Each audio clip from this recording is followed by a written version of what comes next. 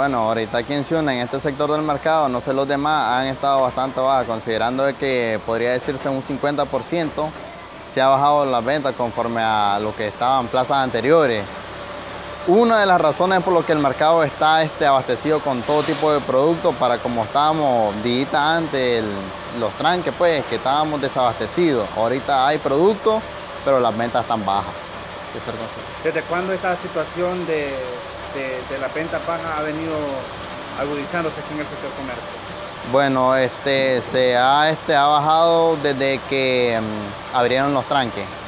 Abrieron los tranques porque cuando estábamos con los tranques estaba difícil la, la entrada de productos, de diversos productos. Vimos el caso de que uno de los productos menos esperados se nos escaseó aquí en Ciuna, como por ejemplo la sal, cosa que nunca había pasado.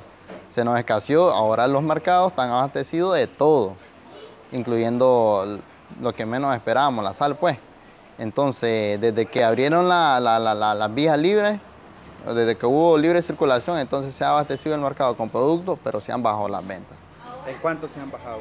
Un 50% diría yo, en mi caso muy personal, no sé en los demás comerciantes, pero creo que todo está parejo. A nosotros nos afecta porque este, hay productos que se retienen, el circulante no da vuelta y esto es revolvente. Los comerciantes saben de que el producto es revolvente. Han bajado las ventas, eh, podríamos decir a partir de, a partir de, la crisis, podría decir a, partir de la crisis. Hoy ya vamos a hablar de enero.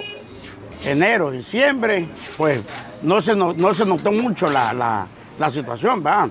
Pero ya a partir de enero, febrero, marzo para abajo, eh, las ventas han bajado bastante. Sí. Ah. ¿En, un porcentaje más o menos de cuánto estamos hablando que se han caído? Podríamos andar, podríamos andar en un 40. Es un 40%, sí, es bastante. Sí, es bastante, sí.